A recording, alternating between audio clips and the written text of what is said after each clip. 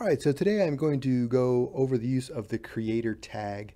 And the creator tag is the preferred method of keeping track of player kills in a Roblox game. In this one, I'm going to add um, the capability of keeping track of PvP kills. So NPCs is not in this one, but I could add that pretty easily. And the one thing you're going to have to do, you're going to have to be responsible for, is when you go to your toolbox and get a weapon, uh, the weapon maker has to know about that whole creator tag thing.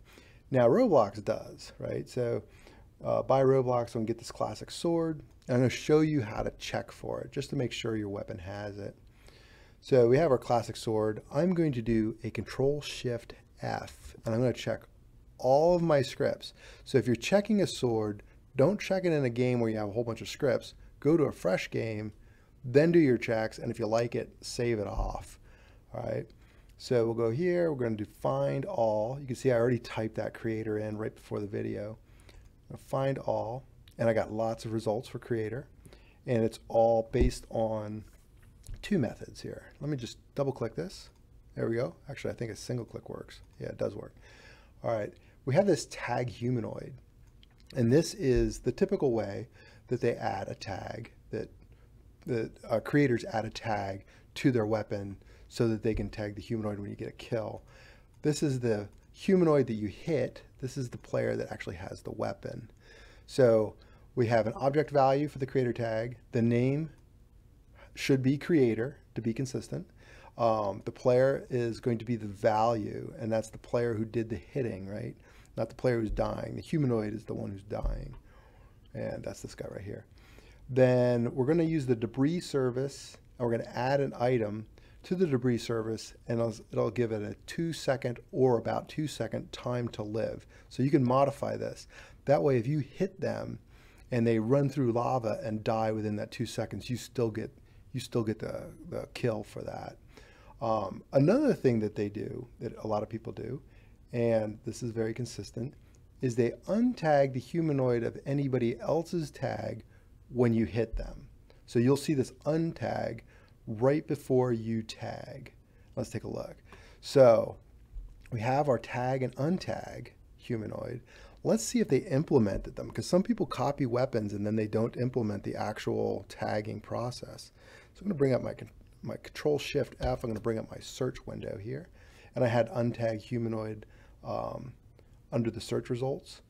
We can use that. I'm just going to, I'm going to, I'm going to look at the tagging part. That's the one I'm more interested in. Right, there we go. There we go. Tag humanoid. That's our function. That's our other function. Let's click on this right here. Ah, look at that. Right before take damage, they do untag everybody else, and then they tag with the person who used this weapon. So the humanoid is going to have your tag on there. If they die within two seconds or you die from that blow, you'll get credit if you implement it on your side, on your leaderboard side. That's what I'm going to do right now. Let's go over to our leaderboard because this weapon is good. It's perfectly consistent. We'll go, we'll get rid of that and move this down a little bit. Let's go to our server script service and hook up our leaderboard for this creator tag thing so we can get credit for our kills. Let's call it leader stats. Let me make that a little bigger for you. There we go.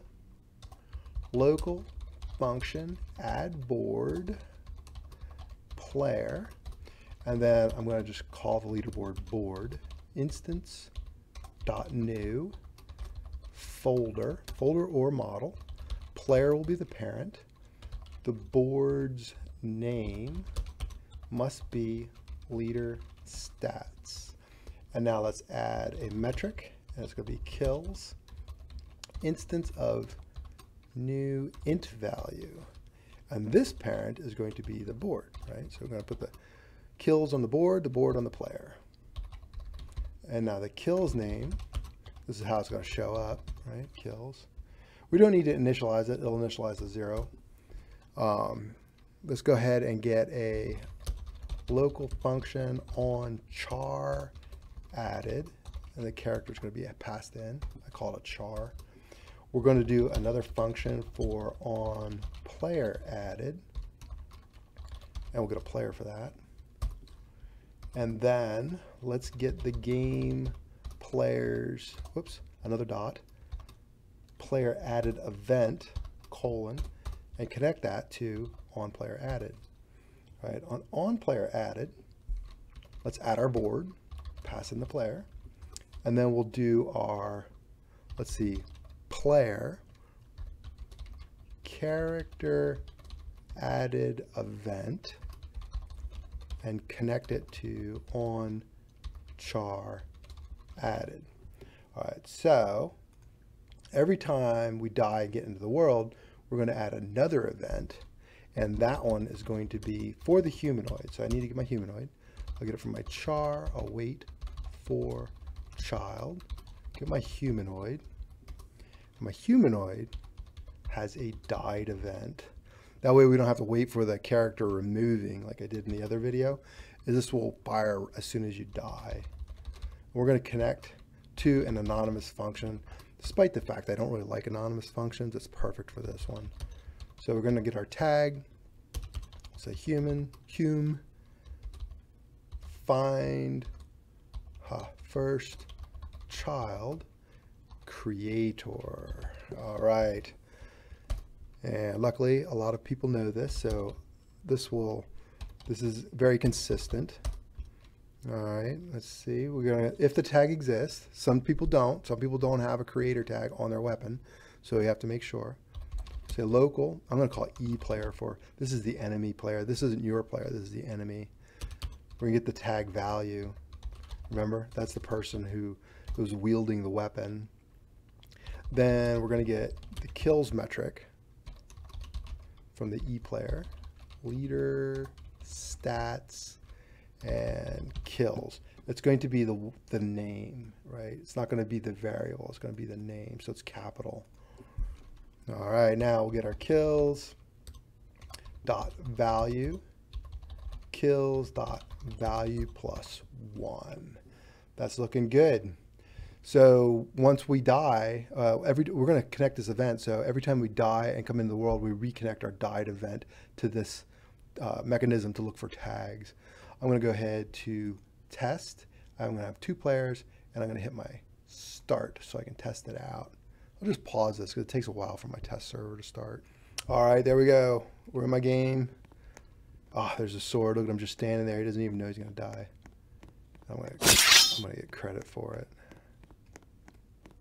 And ha. There, look at that. Got my kills. Now let's just make sure that we get another one when he comes back in. We want to make sure that that um, died event reconnects. And here we go. There we go. I got two kills. So that is the best way of keeping track of kills for your uh, PvP games.